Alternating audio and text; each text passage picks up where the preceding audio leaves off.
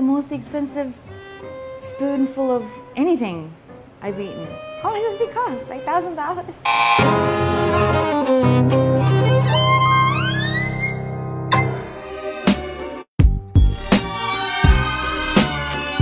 My experience with caviar is nothing. I've never eaten any kind of caviar, but I've heard a lot about it. Usually I think of caviar as being like super fancy and like maybe even kind of old timey, like in all like the black and white movies. Fancy fish eggs that can be expensive at times depending on what type of fish and how endangered that fish may be. It's interesting, like I didn't know there could be so many kinds.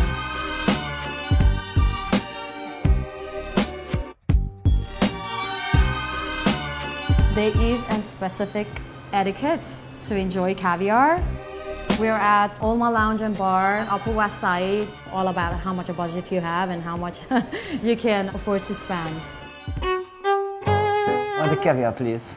That's my Russian accent. Whoa! Oh my god! Ta-da! There you go. Mind blown. Oh. How, how am I supposed to eat it? Can I just go? The plain caviar. We should never use metal spoon because that's gonna tarnish the caviar. So we always have to make sure to use mother of pearl spoon. So here we have paddlefish, which is American wild caviar. I don't know what to put on. I'm gonna do as much as I can. First, we're just gonna have caviar by itself.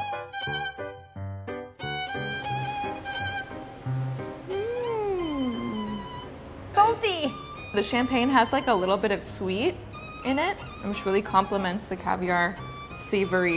A little bite of caviar, nice sip of some bubbles. The caviar is best when enjoyed with champagne or ice cold vodka. Either champagne or vodka. Water, please. I prefer champagne because the bubble it complements with a burst of caviar. When am I supposed to make a sandwich? Okay, I'll, I'll try. I'm gonna try to put this in- into a double decker now, and then I'm gonna put some caviar on top just because I feel like it. Sandwich is not the traditional approach to have caviar. Would you want to see how people have it, like the regular way? First, you lather up a little bit of crème fraîche so that everything is gonna be in place. Eggs and chopped onion would be the traditional way to have it. And ta-da-da, there you go. So I can put a little bit of the extra stuff on top. Don't lose it. Oh!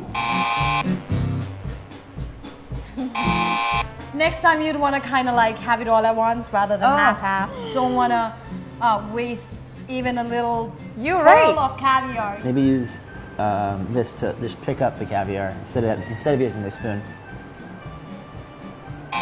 You know the way you handled caviar was really rough. You've got to you've got to keep in mind they are very delicate little pearls. All the juice is gonna be all over the place. Show this to you guys. Um, there's some ice inside. Make sure to eat it while it's chilled and fresh.